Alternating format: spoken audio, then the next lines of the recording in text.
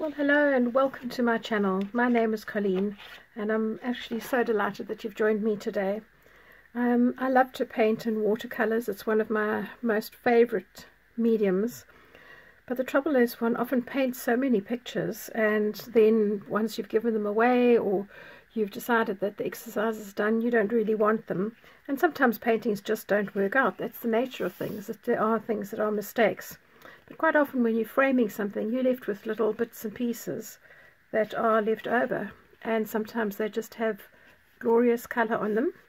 And the paper is quite nice quality. So that's one of the things that I like to use um, when I'm doing some tickets for my junk journal ephemera. The other thing is, is just to have strips of different card or paper. And these I would cut out from magazines, maybe something like Daphne's Diary, just to have a nice sort of border. These you might have to mount onto card because they're slightly thinner than the watercolor paper. And this one, for instance, was just something where I'd actually hand decorated just by splattering some diluted paint onto a surface.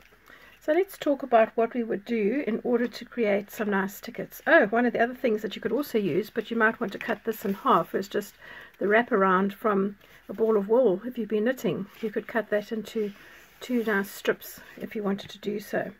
But I'm going to use some of this watercolor paper for now, just simply because I want to use it up. And my method for making tags is pretty easy. I've selected this long strip here, and basically what I've done is to fold that in half. Then I've folded that in half again, and each half I'm folding into quarters. So we'll just repeat that. We folded it in half, now into quarters, and now each piece into half again. And when you get to the middle bits you can just fold them over around the center like that. Um, I could have measured it all out. I could have made them my own length but that's entirely up to you. The next thing that I will do is to grab my Crop-A-Dile. And if you don't have a Crop-A-Dile don't worry about that. You can use a normal punch.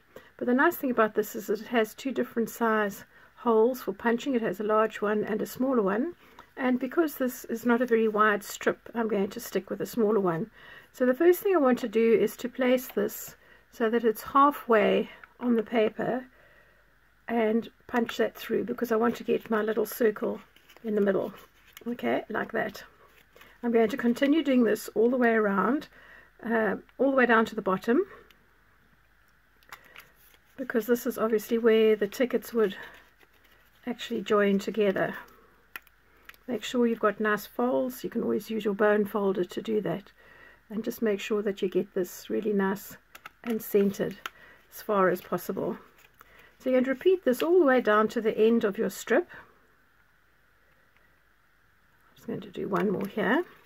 And then in order to make your tickets look more authentic, you're going to do the edges of your ticket as well. So the end one, you're going to just take a quarter off just to give it that sort of clipped look as if it's been torn off a roll. And then here again you're just doing a half circle in each of these. So you've just got to get rid of the little pieces of paper that you punch out. Otherwise you can't see your markers so well.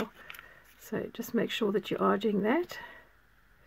And if you just have a look at the side of the Crop-A-Dile you'll see that there are a whole lot of lines here and you can use those little lines as guides. So my guide is to put my piece of card up against that line before the ridges start. So that's how I know that I'm getting it in the same place each time. So I'm going to do this down the whole of the one side, whoopsie, and then I will do it down this side as well,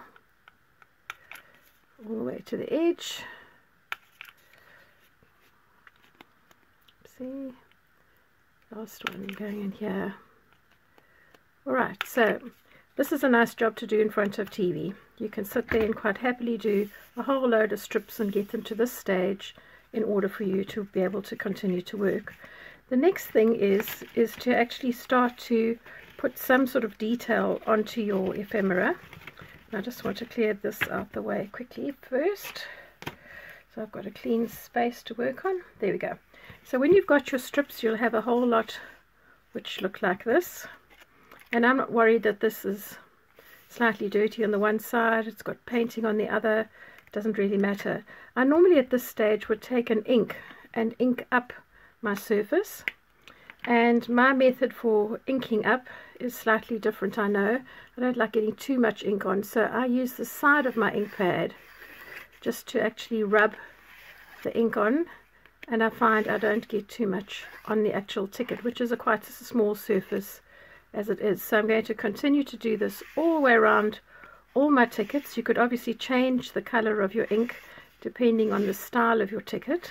So if I was doing something for a garden you could even go for a green kind of ink. You know you don't have to stick with a brown. And then I'm going to fold each ticket on the fold line and do that and just quietly get a little bit into the middle so I'm inking up all my edges before I even start to decorate all the way through. This can get a little bit messy so it's always good just to have a little bit of paper towel or a wet wipe next to you while you're working. Try and also ink these little edges where you've taken a notch out. Not always the easiest thing to do but you can. Um, there we go. So you can see by doing that already it's added some definition as opposed to that. So I'm going to move on now to the next one that I've prepared and you can do a whole load of different things but let's start off with one of the simplest things. So the first one that I've done is just to simply take a calendar. Now I found these calendars at Hobbycraft and they were really inexpensive. I think they were probably about 50p or something. But because they've got a lot of numbers and things on, that was really nice. So I've torn some of those up and just using my Elmer's glue, I've stuck those down. And that's just a very, very basic ticket. Okay, I haven't done much more to that. So that's doing the one. The next one that I did was a slightly wider one, so it's got more of the ticket on its um, surface area here. And then I used some of these textured stamps which I've got. Um, so I have a whole variety of textured stamps. Don't ask me for a brand. I bought them in South Africa and oh, they were fairly inexpensive.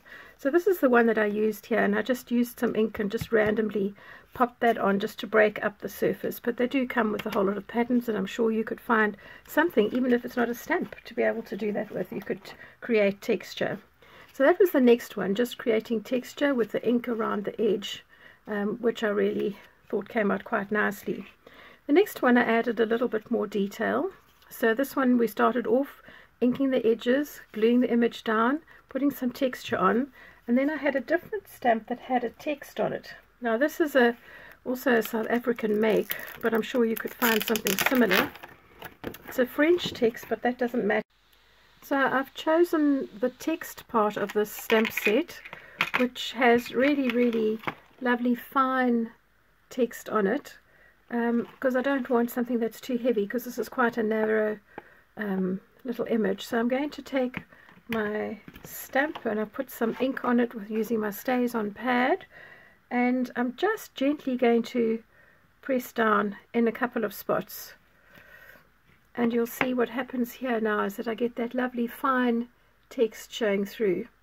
And I think it just adds a nice little bit of detail to that particular stamp. So you can break up the surface using either textures or you could actually use just a stamp. So the next thing that I'm going to show you is see get my little cover on here. Don't keep your StazOn pads out in the open. You don't want them to dry out unnecessarily and the next one I'm going to show you is just a very simple one this is simply using just a piece of card with some of my hand decorated um, paper that I've cut. I've inked around the edges before I stuck it down. And then I have some of these little sort of floral ephemeras that I've got from a Tim Holtz woodland kit. And I'm just going to glue these down. This one I don't want to have a lot of ink. I don't want a lot of fuss on it. Um, I have a garden journal that I'm working on and it's a pretty clean sort of nature thing and I don't want to have too many images and things stamped over it so I'm not going to use anything else other than that just to keep it a nice even smooth finish with a nice clean style. I'm just going to stick those three down like that and if I decide when I'm actually coming to use them that I want to add something else then I can do that so that leaves me nice options there right You're probably wondering why I'm using this plastic bag to put glue on. Um, I find it really useful because I don't get too much on my fingers and I do get a nice even spread underneath. So there's my nice little stickers, my tickets that I've started off with then. Then I found this box that's got cloakroom tickets and I have a piece of old pastel paper that was just an offcut that I had and I'm just going to stick something on here. So let's do these two tickets. And again, this will just be the basics. See, I'm going to need this gluing piece again. This will be the basics. So these I've got nice perforated edges.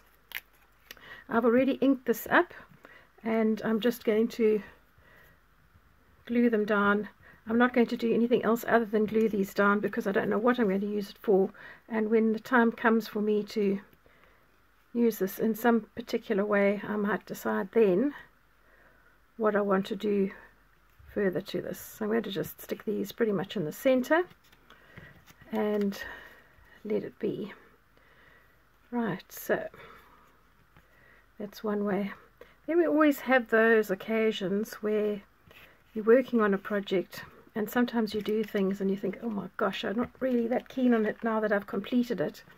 And this was one of those tickets. I'd started off with a piece of card that was watercolor paper. I'd stuck down an image which was just one of the borders from Daphne's diaries.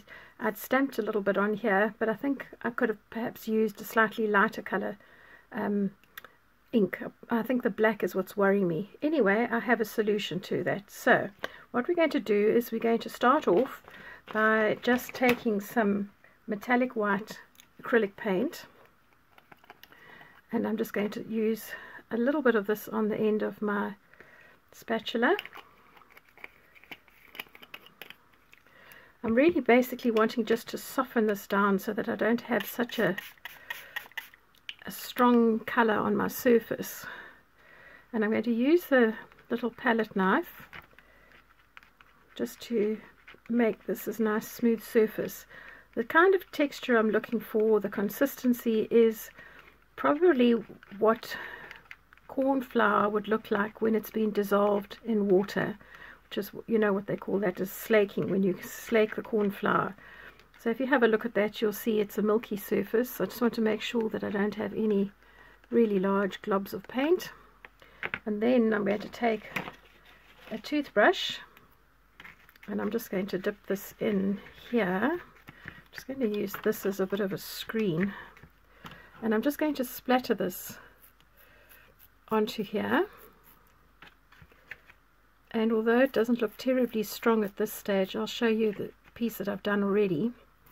And you'll see what I mean when I say it softens it. So we're going to go from that to having that where you'll see once it dries you can see the little white splatters and when you put color on top of something it always pushes the other colors into the background so you can see that that's quite nicely subdued that and when this other section is dried it's going to look exactly the same.